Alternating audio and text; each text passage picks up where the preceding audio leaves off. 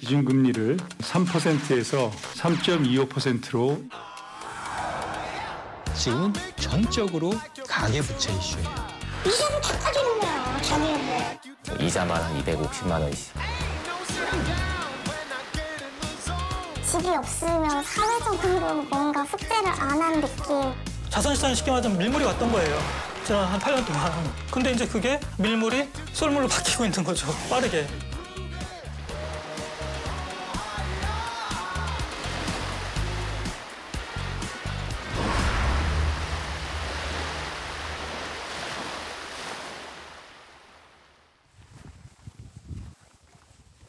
올해 35의 김상우 씨.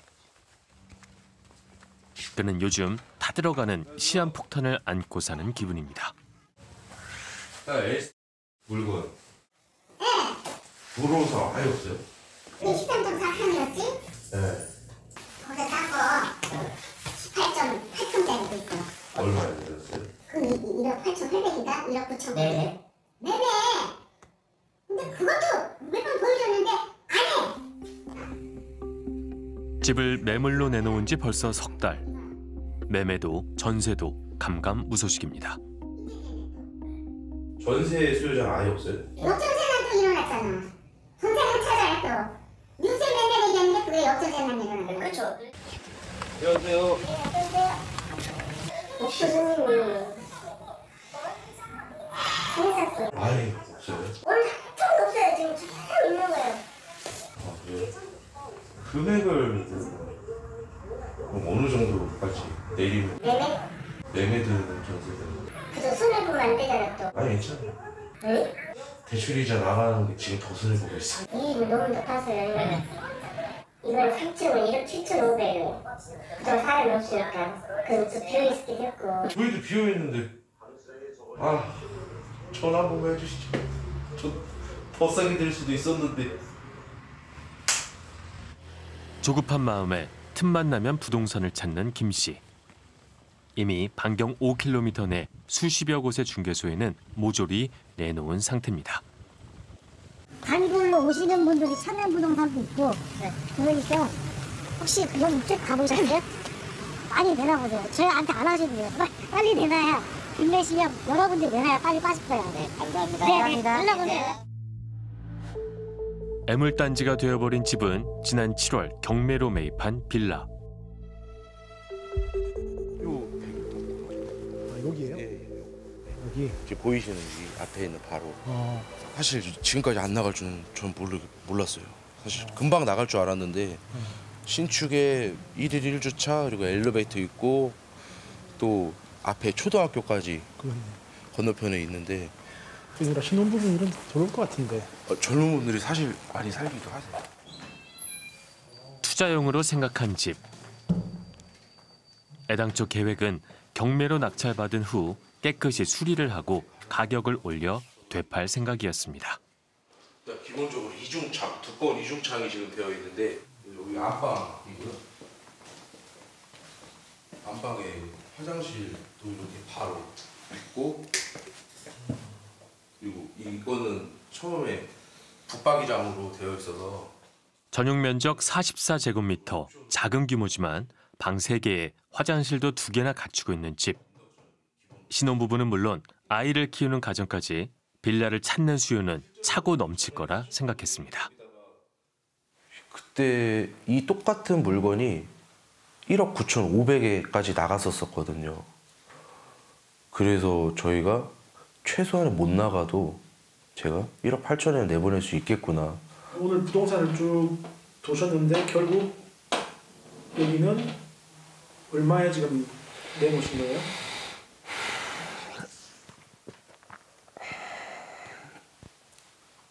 오늘 가서 1억 5천에 내놨습니다.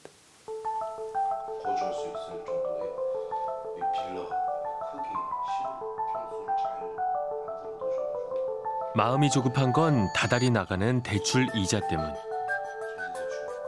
경매에서 1억 6,700여만 원의 빌라를 낙찰받았는데 천여만 원을 빼고는 모두 대출입니다.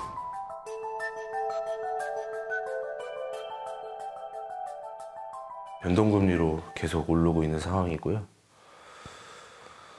원금을 갚지 않는데도 이자만 지금 120만 원씩 나갑니다. 이자만 120만 원. 안 팔고 계속 갖고 있으면 그 이자 내다가 제가 지쳐서 진짜 신용불량자 될 수도 있겠구나 해서 문제는 이게 다가 아니란 겁니다. 빌라를 포함해 빚으로 마련한 집이 모두 네 채. 어디 어디 있는지 먼저 한번 좀첫 번째는 인천의 논현동에 하나 한 채 가지고 있고요. 두 번째는 천안 두정동에 한 채 가지고 있고 그리고 세 번째는 제천에 또 마지막 네 번째는 인천의 갈산동에 이렇게 해서 네 채 총 보유하고 있습니다.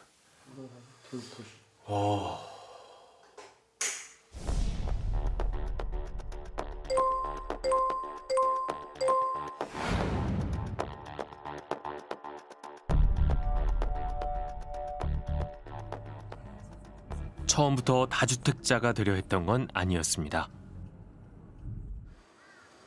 2017년 말 결혼 7년 만에 첫 집을 장만했습니다. 집값의 반 이상이 빚이었지만 가족의 보금자리를 마련했다는 생각에 뿌듯했습니다. 그런데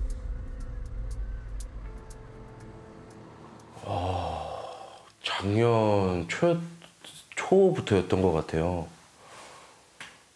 가만히 그냥 있는데 갑자기 뭐 1억, 1억 이렇게 오르더니 7억까지 올라가더라고요. 그래서 3억 8천에 산 집이 예, 어 그때 분위기는 어 서울 아파트 평균 매매값이 처음으로 3.3제곱미터당 4천만 원을 돌파했습니다. 전국 집값은 14년 만에 가장 높은 상승률을 기록했다고 합니다. 이번 주 수도권 아파트값 상승률이 통계 작성 이래 최고치를 기록했습니다. 말 그대로 부동산 불장이 펼쳐진 지난 몇 년. 우선 이제 황동이랑 서울, 서울에.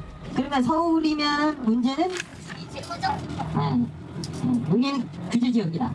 근데 이거 붙이다 부처는 또 아니다. 저기 그냥 끝으로 보면 서울 사람들은 빚을 내 집을 샀습니다. 아파트 값은 계속 올랐습니다. 여기, 여기, 여기, 여기, 여기, 여기. 그다음에 이쪽에 있는 이쪽 라인 있잖아요. 중동에서는 사실 아무거나 다 올라요. 안 오르는 게 아니에요. 지금보다 더 오르는데 김 씨는 마침내 자신에게도 기회가 찾아온 것이라 믿고 친구와 투자 대열에 합류했습니다. 책을 보면 규제 지역 하나 하고 비규제 지역 하나 사야 된다 이렇게 나와 있더라고요. 그래서 한번 갔는데 부동산에는 또 사람들이 많고 어제 봤던 물건이 오늘 다 나갔다 이렇게 하시니까 아 빨리 해야겠다. 여기 또 기회 여기가 또 기회인가 보다. 작년 말부터 올 7월까지 1년도 안 되는 기간 친구와 공동 투자로 지방 아파트 두 채와 빌라 한 채를 샀습니다. 집 세 채를 사는데 든 돈은 모두 합쳐 6억 3,500여만 원. 집값의 대부분은 세입자의 전세 보증금과 대출로 충당했습니다. 본인 돈은 빌라를 살 때 보탠 1,200만 원뿐.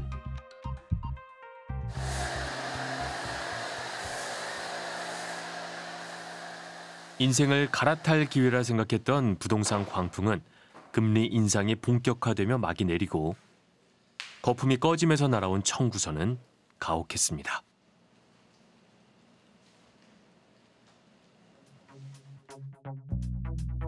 기존 아파트 대출 원리금 125만 원에 투자용으로 산 아파트 두 채와 빌라의 대출 이자 그리고 현재 거주하는 집의 전세 자금 대출까지 매달 갚아야 하는 돈만 350여만 원에 달합니다. 그가 한 달에 버는 돈의 7, 80%입니다. 요새 어때? 이자 나가는 거 괜찮아? 아 너무 힘들어가지고 감당 안 되지 진짜. 언제까지 올라갈라나 진짜 막막하다.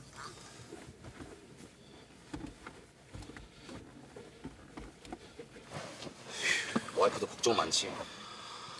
아 진짜 무슨 말을 하기가 미안해. 벌려놓은 건 많고 나가서 자기도 벌어보겠다고 직장 알아보니까 진짜 그러니까 단돈 얼마라도 벌기 위해 김 씨는 시간이 날 때마다 가리지 않고 아르바이트를 뛰고 있습니다. 바쁜 거야. 만나지 못하니까 얼굴 못 봐서 요즘 뭐 하고 지내냐 물어보니까 계속 막 알바를 하러 다닌다고 잠도 보니까 하루에 4시간 정도밖에 못 자고 저렇게 주어를 하는 것 같더라고요. 그럴 때마다 그냥 우리 가게 와서 일해라. 나 밥벌 좀 부를게. 해서 연락돼서 차라리 저희 가게에서 일하는 게더 마음 편하고 지금도 어렵지만 앞으로가 더 걱정입니다.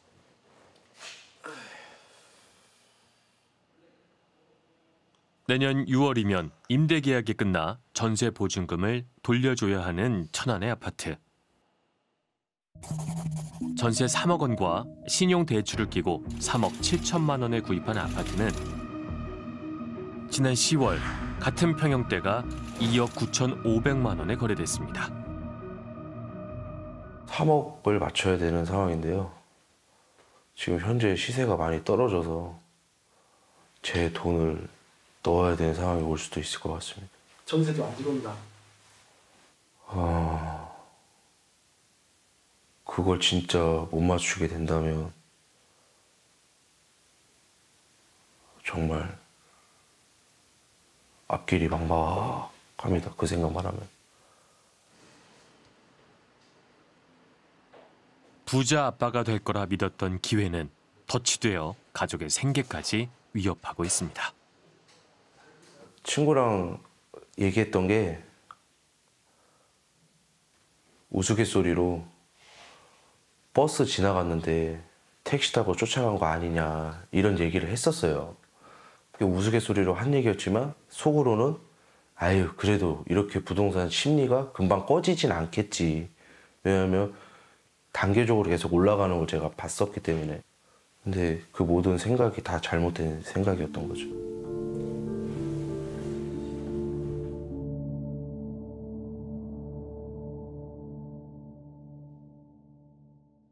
지금 보신 김상우 씨 사례처럼 요즘 대출이자 걱정에 밤잠 못 이루시는 분들 많으실 겁니다. 대출 금리는 끝없이 오르고 아파트 값은 10년 6개월 만에 가장 큰 폭으로 추락하고 있습니다. 집이 아니라 짐이 돼버린 아파트.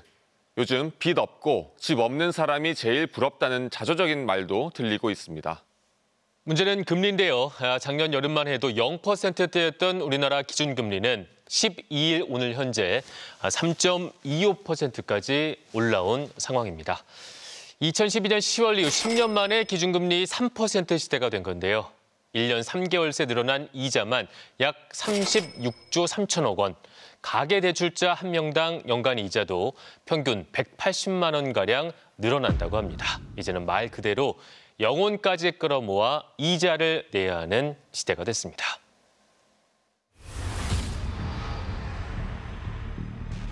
부동산 대세 상승장이 본격화된 2020년 초.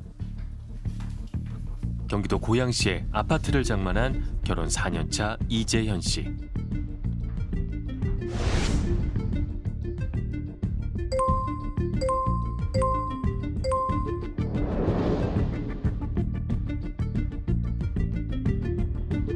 (6억 5천5백만 원에 산 집은 6억 원이 넘게 올라 지난해 가을 최고가 12억 8천만 원을 찍었습니다.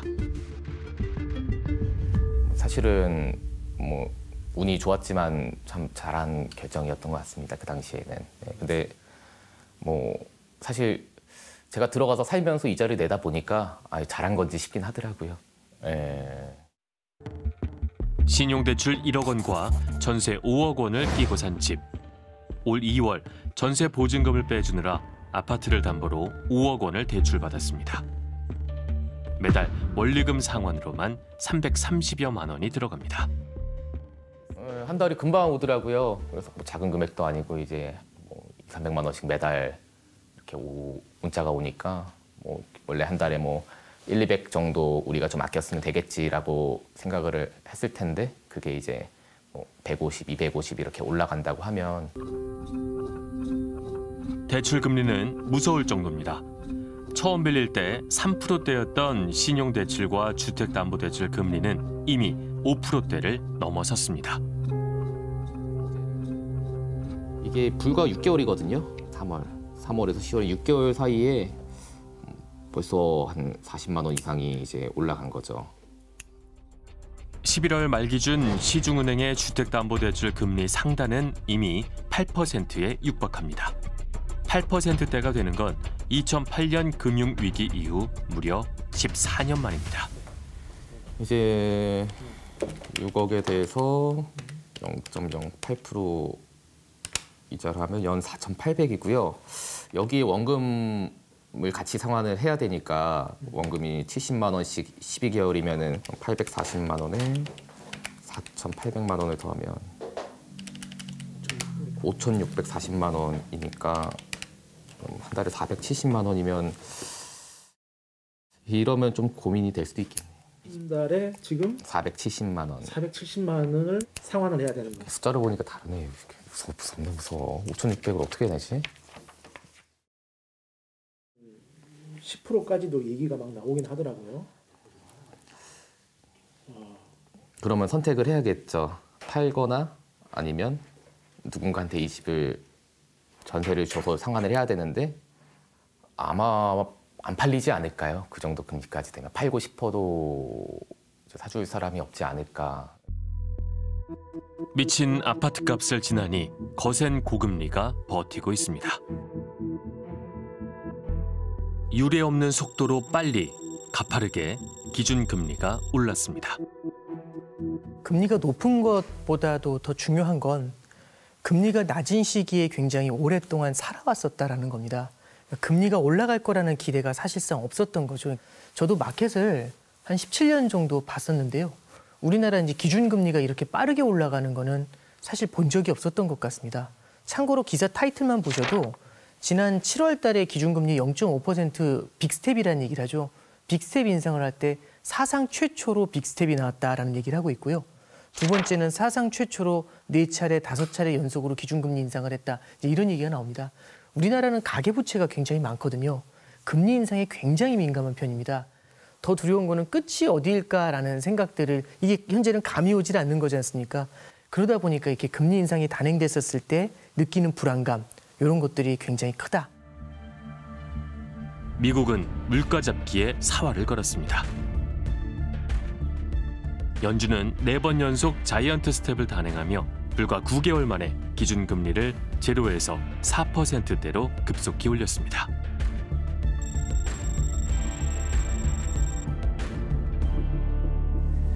Without price stability, the economy does not work for anyone. It is very premature to be thinking about pausing. So people, when they hear lags, they think about, about a pause. It's very premature, in my view. We, we, have, we have a ways to go. 이번 달에 또 금리 인상을 앞둔 미국. 연준 내에서는 최소 5%, 많게는 7%까지 올려야 한다는 의견도 있습니다.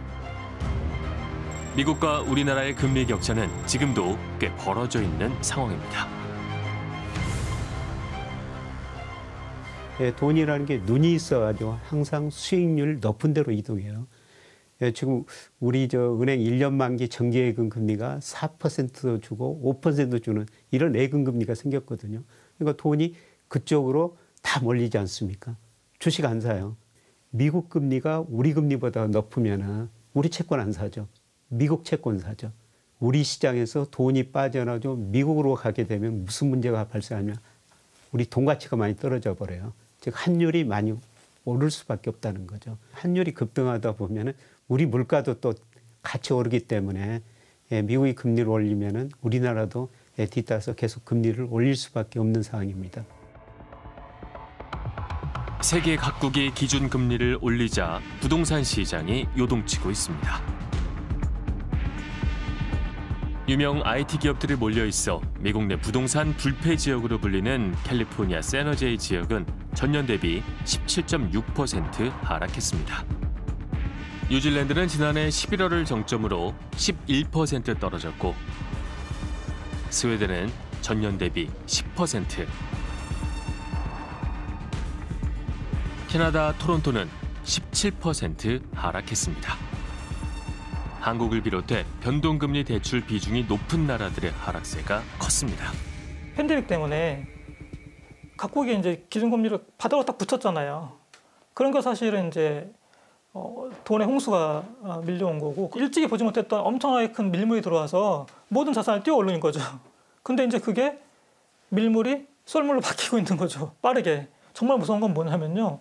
시장이 안, 안정됐더라면 시장에 뛰어들지 않았을 사람들, 전세나 월세로 남아있을 사람들조차도 집을 매수하려고 덤벼든단 말이에요. 그게 이제 영끌러고 패닉 바잉이죠.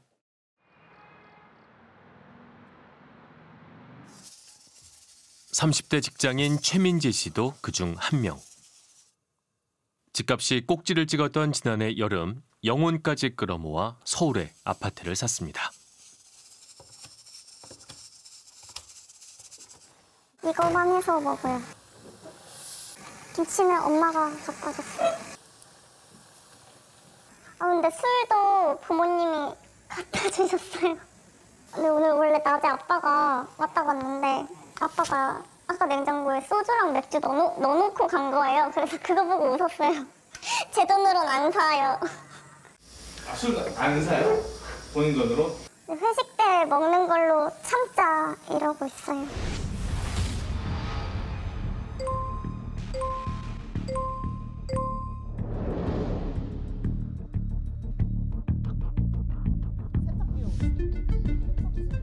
일년 넘게 이어지고 있는 긴축 재정.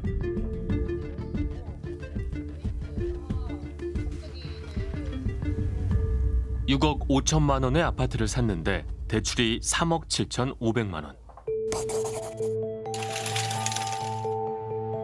집값의 절반 이상이 빚입니다. 소득의 절반도 원리금 상환에 들어갑니다. 근데 그 대출마저도 너무 좋은 거예요. 그 대출이 없으면 집을 못 샀고 대출 덕분에 집을 산 거니까. 그리고 그때는 제가 소득 문, 소득이 별로 많지 않아서 신용 대출을 못 받았었거든요. 만약에 4억이나 5억을 대출해줬으면 전 그거 받았을 거예요. 지금도 후회하는 게 아, 그때 제가 주식으로 날려먹은 5천만 원 이런 게 있었더라면 평수도 더 한 두세 평이라도 넓은 데를 했을 것이고 아니면 하다못해 조금이라도 더 남쪽에 있는 동네를 살 수 있었을 텐데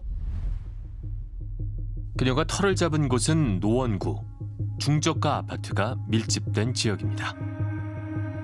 지은 지 30년도 넘은 아파트였지만 이 기회를 놓치면 다시는 서울에 집을 못 살 것만 같았습니다. 매물이 딱 떠서 갔더니 30년 전에 짓고 나서 한 번도 수리되지가 않아서 집에 있는 모든 문짝과 샤시가 다 썩어 있었어요. 바닥도 기울어져 있는 채로 살고 엄청 낡고 진짜 썩은 집이었는데 앉은 자리에서 3천만 원을 바로 올리시더라고요. 아 거기에 경쟁자가 또 엄청 붙어가지고 제가 선택을 받아야 집을 살 수 있는 거예요. 이른바 매도인이 갑이었던 시기. 갈대를 정하지 못한 집주인 가족에게 두 주간의 무상 거주까지 허용하며 간신히 집을 계약했습니다. 30년 묵은 집을 뜯어 고치느라 인테리어 비용 2,600만 원이 추가로 들었습니다. 그런데 1년도 안 돼 분위기는 판이하게 달라졌습니다. 매매가 사실 몇 건 없었는데 최근 실거래가가 5억이었더라고요. 5억. 네. 뭐 유- 작년에 6억 5천에 사셨는데. 네. 상상도 못했어요. 정말 상상도 못했어요. 왜냐면 작년까지만 해도 노원 같은 데는 재건축 이슈가 진짜 많았고 제가 3대도 안전진단 그걸 통과해가지고 재건축이 된다 안 된다 그랬거든요. 그래서 아, 재건축만 되면 돈을 번다 이런 분위기가 정말 많았고 근데 제가 집 사고 나서 한 3개월? 3개월 정도 지나니까 싹 바뀌는 거예요. 그녀가 활동하는 재테크 대화방에서도 곡소리가 나고 있습니다. 아, 이 이번 생에 망했다. 너무 힘들다. 뭐 애기 이름 대고 아 누구야 미안해. 기존 전세가에서 엄청 깎아서 그냥 우선 전세해서 대출 끄고 우리가 한 번은요 대출 없이 6억 집이었는데 결혼하려고 보니까 5억이 되고 4억이 되고 전국 아파트 값이 2002년 이후 가장 높은 상승률을 기록한 지난해 노원구의 상승세도 가팔랐습니다. 작년 한 해에만 4천 건에 육박하는 거래가 이루어졌는데 절반가량이 민지 씨와 같은 20, 30대입니다. 그때 그 사람이 아마 6억 내가 기억에 6억 4천인가 얼마 주고 샀었을 거야. 네네네. 6억 4천, 6억 5천인가? 순수한 용자만 5억 5천이야. 7%만 되면 7, 7호 30, 7호 30. 3,800이 이자 남나. 8%면 이 사람이 5억, 5억 용자 받았을 때 1년에 400, 4천만 원이라는 걸 내야 돼요. 이 사람 이자를 다 까지는 거야. 자기 연봉. 4천만 원이 작은 돈은 아니잖아요, 연봉. 이 사람 어떻게 사냐고.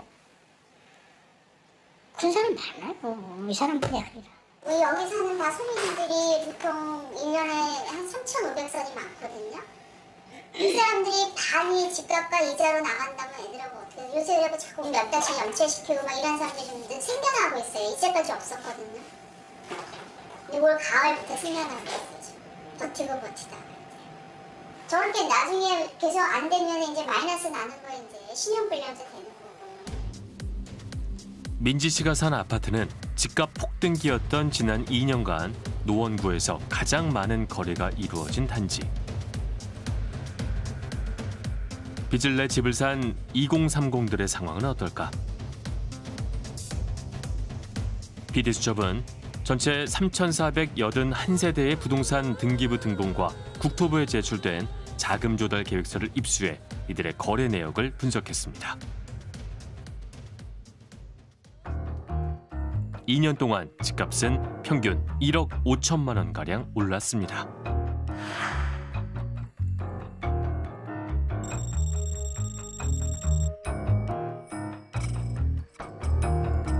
모두 355건의 거래가 있었는데 3분의 2에 해당하는 233건이 20, 30대 거래입니다. 열의 7은 집을 사면서 금융권 대출을 받았고 주택담보대출을 받은 3명 가운데 1명 이상은 추가로 대출을 일으켰습니다. 자기 자본이 집값의 10%에도 못 미치는 집도 14가구나 됐는데요. 지난해 2월 5억 9천만 원의 집을 산 30대는 자기 돈 900만 원을 빼고는 모두 빚이었습니다. 저금리가 계속해서 이어질 거라는 경제 주체에 기대가 생기게 되면은 이때는 큰 금액을 대출을 받아서 무언가 경제적 행위를 하는데 큰 두려움이 사라지게 되죠. 빚이 얼마나 무서운 건지를 실제로 경험해 본 사람과 그렇지 않은 사람들이 존재할 수가 있습니다. 연끌 같은 경우는 이례적으로 빠른 금리 상승이 나타났었을 때 그 리스크를 이제 오롯이 안고 가게 되겠죠. 그러면 금리가 얼마나 더 올라가게 될지 그리고 이걸 감당할 수 있을지 어느 정도까지 자산 가격이 떨어지게 될지 여기에 대해서 이 불확실성 속에서 굉장히 큰 불안감을 느끼게 되겠죠. 어, 주담대 신규 같은 경우에 지금 5% 6%가 허다해요. 이자가 두 배가 된 거예요. 실질적으로 버블이 터지는 건 6억에서 15억 사이가 엄청나게 터질 거예요. 특히 이제 영끌한 친구들 자산 단안일 수 있거든요. 떨어지면서 거기에 대한 지금 시나리오 나와야 돼요.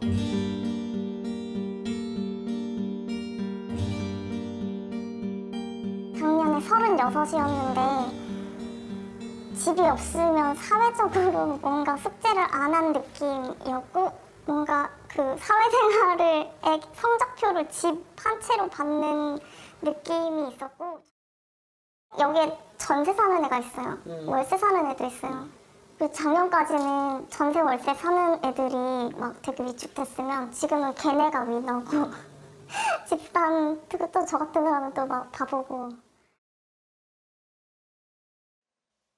집 한 채가 사회생활의 성적표 같았다는 최민지 씨의 말처럼 가만히 있으면 상대적으로 가난해지고 뒤처진다는 불안감에 많은 이들이 빚을 내서라도 집을 샀습니다. 그리고 1%대 저금리는 패닉 바잉의 원동력이 됐습니다.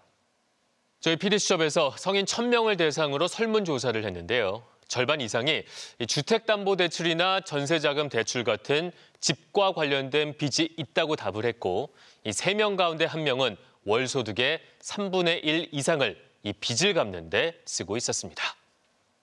여기서 눈여겨볼 점은 빚이 생긴 시점입니다. 빚이 있다고 한 사람들의 34.8%는 2020년에서 2022년 사이에 빚이 생겼다고 답했습니다.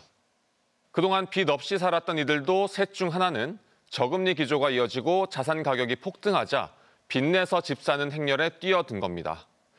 이 기간 한국의 가계부채는 큰 폭으로 증가했습니다.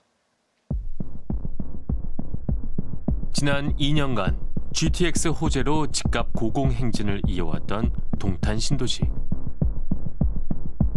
10년 전 3억 원대에 분양된 이 아파트는 집값 폭등기가 시작되던 2019년 말 약 8억 4천여만 원으로 올랐고 지난해 여름 14억 원을 돌파했습니다.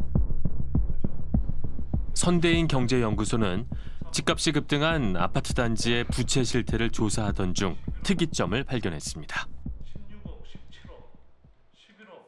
갑자기 기존의 주택 보유자들이 예, 추가로 주택담보대출을 내는 사례가 굉장히 많아졌다는 겁니다. 그리고 그런 사례들을 보면 대체로 어, 그 단지에 따른 어떤 매수자들 또는 주택 보유자들에 비해서 예, 굉장히 과도하게 많은 빚을 끌어다 썼다라는 이제 좀 특징이 나타나고요. 이 아파트 단지에선 집값이 폭등했던 최근 3년 내 손바뀜이 없었던 세대에서도 3분의 1 이상이 집을 담보로 추가 대출을 받은 것으로 나타났습니다. 대출의 질도 안 좋습니다. 이 정도 대출 규모가 많아지면 일금융권에서 안 되는 경우들이 많거든요. 그러다 보니 저축은행으로 간다든지 여기 또는 뭐 새마을금고로 간다든지 무슨 캐피탈사에 간다든지 일반적으로 그냥 뭐 생활자금이 필요하다 이럴 때는 뭐 대출을 낸다 하더라도 몇천 또는 1, 2억 수준에 그칠 텐데 뭐 10억 이상의 그런 이제 무리한 대출을 냈다. 그러면 이걸 가지고 결국은 또 다시 집을 사거나 집값이 오르는 과정에서 이 부동산 투기 경향이 훨씬 더 강해졌다는 겁니다. 빚은 가파르게 증가했습니다. 올 3분기 기준 한국의 가계부채는 1,870조 원을 넘어 역대 최고치. GDP 대비 가계부채 비율은 105.8%. 전 국민이 1년 동안 번 돈을 모두 쏟아부어도 빚을 다 갚지 못한다는 뜻입니다.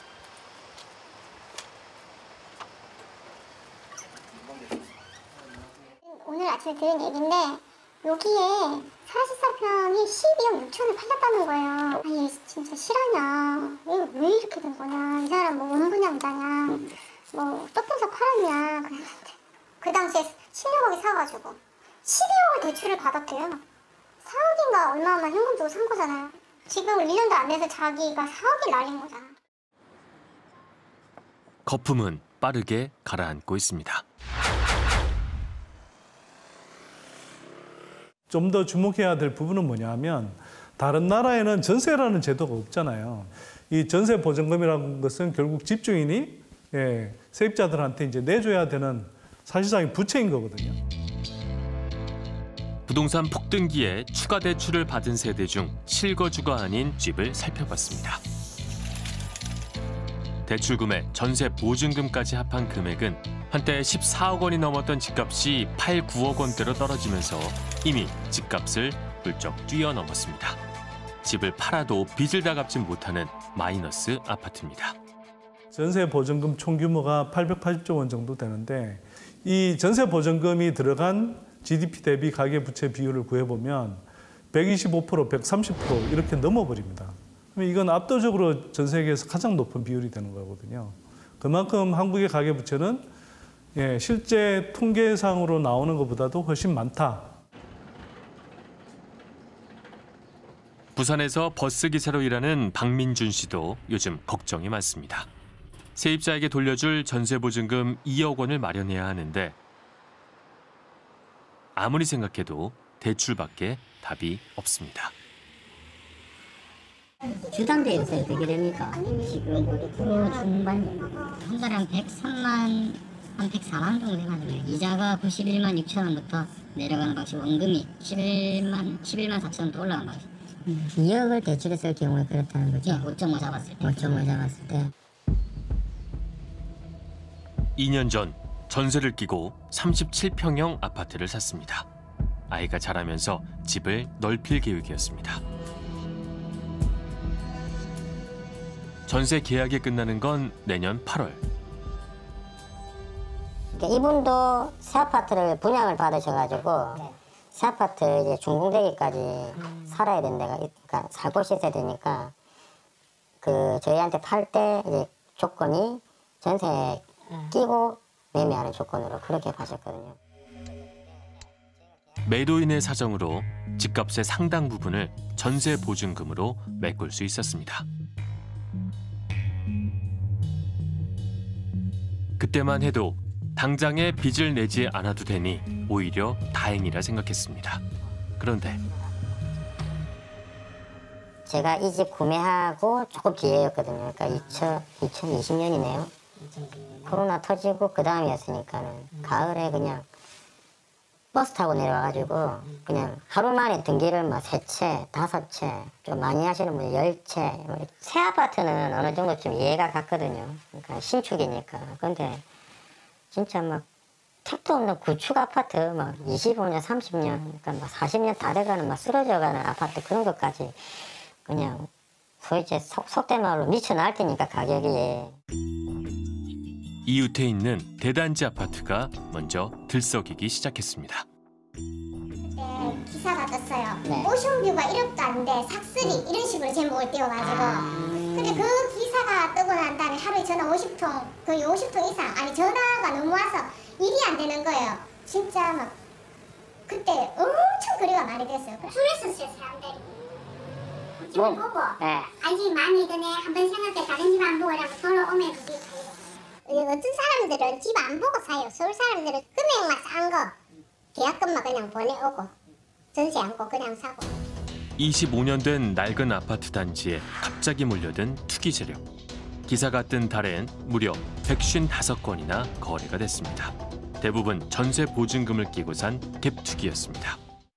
시집가도 일은 안 되지만은 실거래가도 이력도 안 됐어요 그런 집들이 6,500에서 7,000 정도를 전세를 끼고 있었어요 얼마 사기, 사기 쉬워요?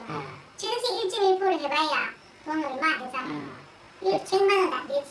그런데 내가 2천만 원만 있으면 집 하나 사줘 바다 전망에 집이 여러 채여도 취득세가 중과되지 않는 공시가 1억 원 미만의 아파트. 지난 3년간 부산시 통틀어 가장 많은 거래가 이뤄진 아파트입니다. 거래량이 늘면서 집값도 전세값도 덩달아 올랐습니다.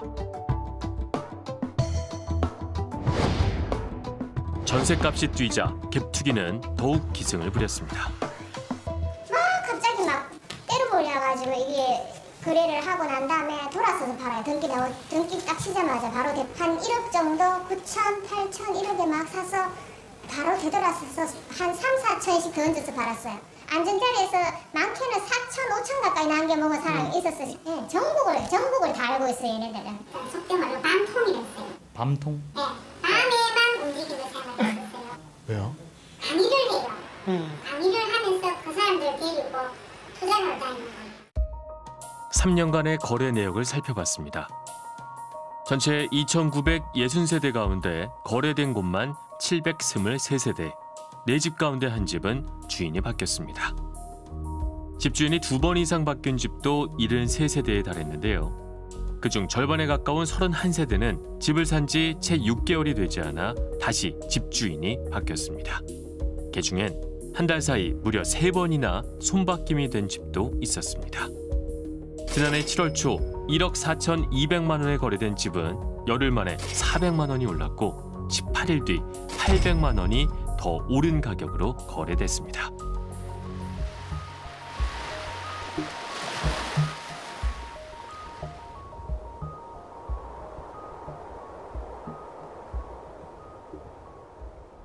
이렇게 조금 뭐더 많아졌네 어제 130몇 개 나오더라고 이렇게 많게는 안 나왔어 많아야 2, 120m, 30m. 아. 더 위에 돈들은 1억도 안 돼요. 심지어 전세도 안 나가서 지금 고민인 분이 있어요. 전국에서 몰려들었던 투기 세력이 썰물처럼 빠져나간 뒤 집값과 전세값은 동반 하락 중입니다. 부동산 시장에 밀물이 들어왔던 지난 3년. 서울에서 주택을 구매한 150만 명 중 38만여 명이 전세를 끼고 집을 샀고 전세를 끼고 산 사람 셋 중 하나는 전세 보증금이 집값의 80%가 넘는 것으로 나타났습니다. 일반적으로 이제 전세 자금이 집값의 80% 이상이 되는 경우를 갭 투자자라고 보고요. 그리고 이런 경우에는 이제 깡통 전세 고위험군으로 봅니다. 아, 그런데 지금 집값이 더 하락하고 경우에 따라서는 경착륙될 수 있거든요. 그런 기준으로 보면 현재 에, 전세 보증금이 집값의 60에서 80을 차지하는 경우도 잠재적인 위험군으로 볼 수 있고 어, 이 구간에 해당되는 주택 수가 11만 채가 되니까 합치면은 어, 대체로 한 23만 채가 지금 깡통 전세 위험에 노출돼 있다. 쉽게 말씀드리면 제가 10억짜리 집을 샀는데 5억의 갭 투자로 샀어요. 그래서 2년이 지났어요. 근데 그 5억의 전세금이 6억으로 올라요. 그럼 1억이 생기잖아요, 집주인이. 근데 1억을 은행에 넣어놓지 않아요. 은행 1억을 받아서 집을 삽니다. 어떤 집을 사면 2억짜리 사요. 근데 2억짜리 집은 여기에 전세가 1억이잖아요. 전세 비율 50%니까. 근데 1억을 여기 전세금을 받아서 이걸 사요. 그럼 이 집은 전세 비율이 몇 프로입니까? 100%. 이거는 전세 가격이 조금만 빠져도 리스크고 집값이 조금만 빠져도 무조건 겁니다. 그러니까 한국의 전세 투자, 갭 투자가 굉장히 리스크한 거예요. 위험 신호는 곳곳에서 나오고 있습니다. 집주인이 세입자에게 보증금을 돌려주지 못하는 전세 보증금 사고가 급증하고 있습니다. 올해 10월까지의 사고 건수와 금액은 이미 작년 한 해치를 훌쩍 넘었습니다. 유동성이 축소되는 과정에서는 모든 자산 가격이 본질 가치로 돌아오든지 그 밑으로 떨어져요. 본질 가치가 제일 없는 것으로 평가되는 코인 가격이 많이 떨어졌죠. 일부 코인은 사라지기도 했습니다. 예, 그래서 그 다음에 주시장 붕괴되고 있고요. 3,300이 넘었던 코스피가 최근에 2,150까지 떨어졌지 않습니까? 예, 집값도 마찬가지예요. 소득에 비해서 물가에 비해서 지금 한 30%, 40% 가대평가된 예, 주식이라는 거는 웬만한 종목은 유동성이 높기 때문에 팔고 싶을 때 팔 수가 있어요. 손실을 처리할 수가 있다는 것이죠. 예, 그런데 부동산은 유동성이 적기 때문에 팔고 싶을 때도 팔지 못하죠. 오히려 주가보다도 부동산 가격이 떨어질 때는 더 많이 떨어질 수가 있다는 겁니다. 내가 사들인 자산이 무엇인지에 대해서는 좀 냉정하게 점검을 좀 해볼 필요가 있는 것 같아요.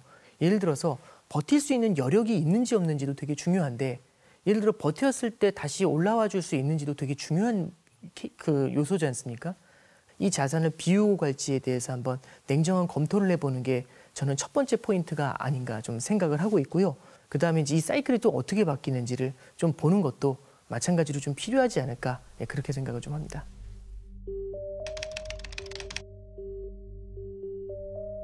빚으로 장만한 집 네 채로 속이 타들어가던 김상우 씨.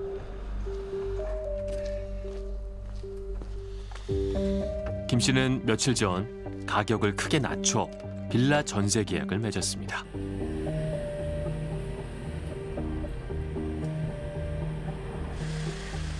급한 불은 일단 껐지만 내년이면 돌려줘야 하는 전세 보증금 3억 원을 마련하기 위해 그는 얼마 전부터 새벽 아르바이트를 하나 더 시작했습니다.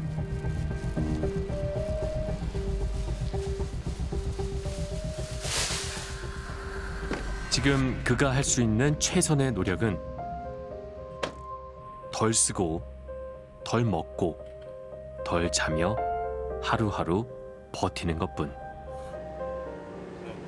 남들처럼 놀이동산도 한 번 못 가주고 주말에 그 흔한 키즈 카페도 못 데리고 가주니까 뛰어놀고 이제 밥 먹고 그냥 그런 흔한 모습은 이제 와이프가 사진으로만 사진으로 보내주니까 암울한 전망이 쏟아지는 2023년.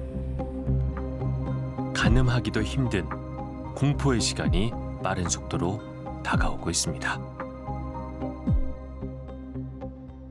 경쟁률 4.7대 1. 올 연말 분양시장 최대의 흥행 기대주였던 둔촌 주공 재건축 아파트 단지의 청약 성적표입니다. 올 한해 서울 아파트 평균 청약 경쟁률에도 못 미치는 저조한 성적인데요. 거래 절벽을 넘어 거래가 멸종됐다는 말이 나올 정도로 부동산 시장은 빠르게 얼어붙고 있습니다. 분양시장은 물론 부동산 금융시장에도 위기감이 감돌고 있습니다. 금리 인상은 내년까지 이어질 가능성이 높아서 빚으로 집을 산 이들에겐 지금보다 더 공포스러운 한 해가 될지도 모릅니다. 저희는 거품봉교의 2부작을 통해 부동산 때문에 고통받고 있는 많은 사람들을 만나봤습니다. 언제까지 오를 것 같았던 부동산 폭등기를 거치면서 만들어진 거품이 꺼지고 이제는 한국 경제 전반을 위협하고 있습니다. 부동산 경기가 하락하면서 정부에서는 규제 완화를 통해 가격 급락을 막으려 합니다. 잠시 효과는 있겠지만 근본적인 대책은 아닙니다. 풀려버린 규제가 몇 년 뒤에 새로운 거품의 지렛대가 될 수도 있기 때문입니다. 이제 정부에서는 부동산 정책의 제1원칙인 서민 주거 안정을 위해 어떤 역할을 할 것인지 근본적으로 고민해야 합니다. 널뛰는 부동산 가격으로 온 국민이 상처받거나 의욕을 잃는 세상은 분명 정상이 아니기 때문입니다.